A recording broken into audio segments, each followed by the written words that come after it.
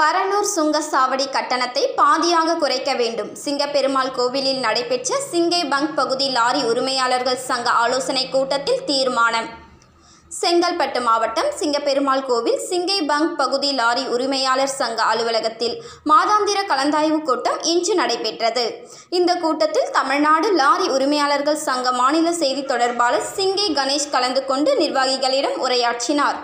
கச்சா எண்ணெயின் விலை பாதியாக குறைந்த போதிலும் பெட்ரோல் டீசல் விலை குறைக்கப்படாமல் இருப்பதால் லாரி உரிமையாளர்கள் கடும் அவதிக்குள்ளாகி இருப்பதாகவும் மேலும் நடைமுறை சட்டத்தில் இருப்பது போல் சாலைகளில் சேதம் அடைந்திருந்தால் சுங்க கட்டணம் பாதியாக குறைக்க வேண்டும் என நீதிமன்ற தீர்ப்பை செங்கல்பட்டு சுங்கச்சாவடியில் அமல்படுத்த வேண்டும்.